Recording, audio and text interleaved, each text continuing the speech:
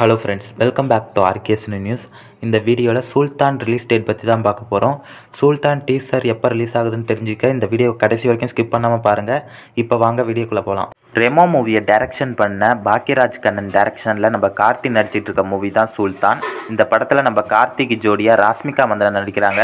Comedian ரோலில் யோகி பாபு நடிக்கிறாரு. இந்த படத்தோட வில்லனா கேஜிஎஃப் சாப்டர் ஒன்னோட வில்லனான கருடன் நடிக்கிறதா ஒரு நியூஸ் வந்திருக்கு. இதை இன்னும் அஃபிஷியலாக ரிவீல் பண்ணல. நம்மளுக்கு வந்து நியூஸ் தான். இப்போ இந்த படத்தை ஏப்ரல் மந்தில் தேட்டரில் ரிலீஸ் பண்ணுறதா தான் சொல்லியிருக்காங்க.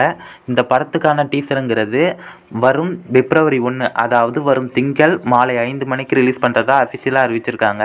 இதை வந்து எஸ்ஆர் பிரபு ஒரு ட்வீட் மூலமாக தான் அறிவிச்சிருக்காரு. இதுக்கான போஸ்டர் எதுவும் ரிலீஸ் பண்ணல.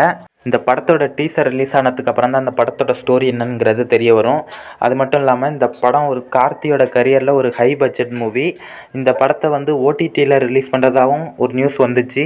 ஆனால் இப்போ தேட்டரில் தான் ரிலீஸ் பண்ண போகிறாங்களா இந்த டீசர் வந்தோடனே இந்த படம் தேட்டர்லையா இல்லை ஓடிடிலையாங்கிறது கன்ஃபார்ம் ஆகிடும் ஏன்னா இந்த படத்தோட டீசரோட எண்டில் இந்த படம் summer two thousand twenty one theatre ரிலீஸ்னு போட்டிருந்தாங்கன்னா தேட்டர்னு கன்ஃபார்ம் ஆகிடும் அப்படி போடலைன்னா ஒருவேளை ஓடிடியில் ரிலீஸ் பண்ணுறதுக்கான வாய்ப்பும் அதிகமாக இருக்குது ஏன்னா போஸ்டர்லேயே தேட்டர் ரிலீஸ்னு போட்டிருந்தாங்க. இப்போ இந்த படத்தோட டீசர்லையும் போடுவாங்களான்னு வெயிட் பண்ணி தான் பார்க்கணும்.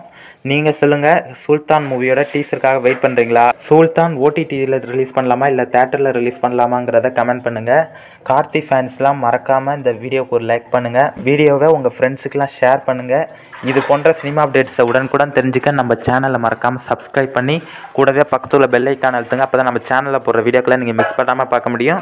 மீண்டும் இதே போன்ற வேறொரு வீடியோவில் சந்திப்போம். நன்றி வணக்கம்.